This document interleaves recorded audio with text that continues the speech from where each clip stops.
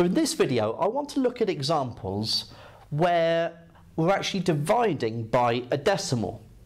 We have already seen situations where we've gone into decimals, but none where we've actually been dividing by something like 0.4 or 0.2.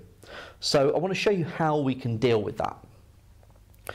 So before we begin, okay, and we go into uh, the process, we need to change this part of the problem, this 0.4.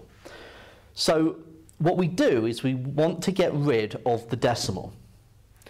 And the way to do that would be to multiply this by 10. If I multiply that by 10, I would get 4, and I don't then need to worry about the decimal.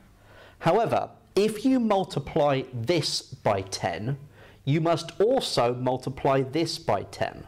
Because essentially, remember, this is a fraction. This is the numerator, this is the denominator.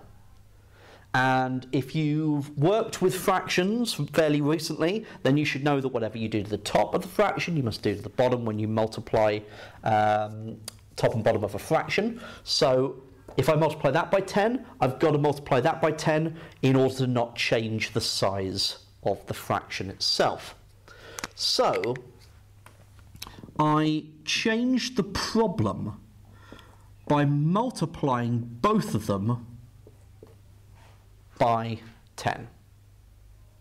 And so now I have 200 divided by 4. Now we should know the answer is 50 here, but 4's into 2 goes 0 with 2 remainder, 4's into 20 go 5, with no remainder, 4's into 0 goes 0. So the answer is 50.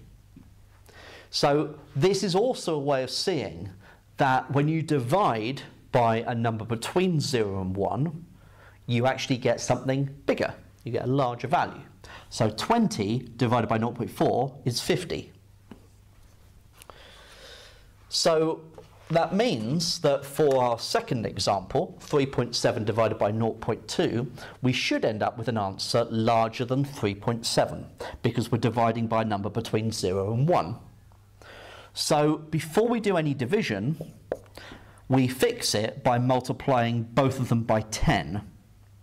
Now, the reason here is to get rid of the decimal in what you're dividing by.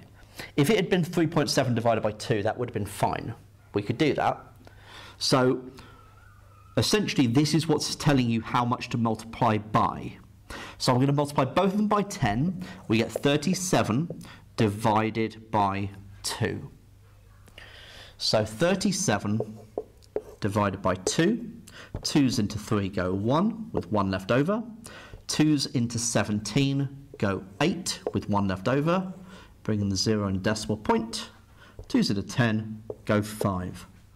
So that means that 3.7 divided by 0.2 is 18.5.